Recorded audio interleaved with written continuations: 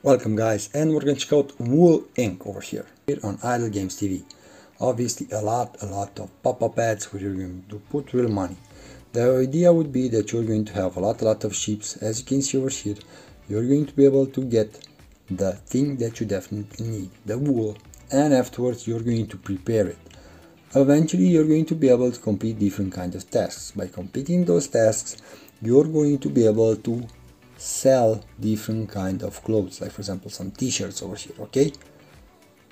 Now besides that you're going to have the possibility to add some campaign bonuses to your income.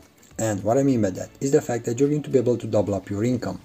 If you're going to do that you're going to get more and more cash faster and afterwards you're going to be able to do a lot of upgrades because you're going to need a lot of upgrades.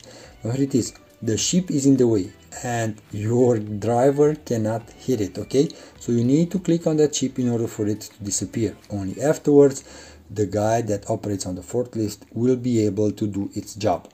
Okay now besides that you're going to have a lot lot of machines over here the balling machine over here the reeling machine afterwards. Over here you're going to get more and more uh, reeling machines depending on the location that you're in and you're going to be able to do the workshop. In the workshop you're going to be able to create different kind of t-shirts. You're going to select a specific mission over here. Now watch out because every time you're going to select start design you're going to have a specific time that you're going to need to complete that test so try to get uh, let's say as many resources as you can. You can see over here what is required from me in order for me to complete this task. So i will need more paint or more nails. I don't know what those small small items are over there. But if you're going to need to get them you're going to go over here in the order status and you can search for them okay? So this one for example. I need to accept it and my uh, the guy that works on the forklift will try to compete it if he doesn't sleep okay? So watch out because at first you will not have managers enough managers and you will need to click some of your uh, drivers over there. Now these are going to be the managers. You can also level them up. Do not level them up if you do not uh, have enough cards. You cannot actually. But do not level up anyone if you do not know what exactly are they meant for. And what i mean by that if you will see that the automated part it's not on okay you will need to upgrade him. But from what you can see over here everyone works okay? And I do not need to upgrade for example this guy. Or for example this guy over here okay?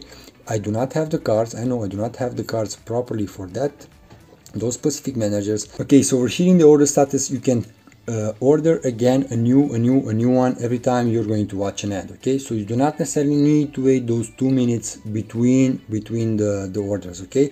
If you do uh, want to watch those ads it will be shorter for you and that's how you're going to be able to complete those orders okay?